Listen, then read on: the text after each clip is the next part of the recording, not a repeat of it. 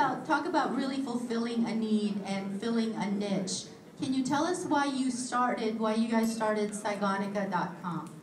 Uh, we launched Saigonica.com in uh, 2009, and we would like to call it the uh, Twitter for Vietnamese. Twitter. Um, without going into technical um, jargon, what it is is that it's, it is a platform for Vietnamese communities around the world connect with each other. So this is um, goes into the category of what we call new media as opposed to traditional media such as TV, print, um, radio.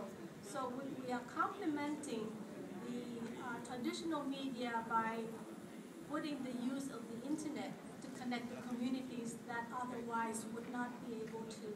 Um, communities in Houston, for example, would be very interested in what the community in Orange County, Garden Grove is doing, but without any way of easy get access to that information, it would be too difficult to get a Vietnamese newspaper in the local area.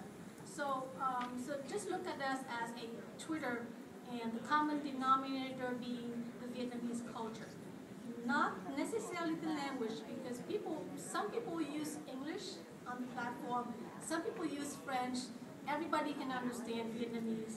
Um, so here we are, social media. Thank you.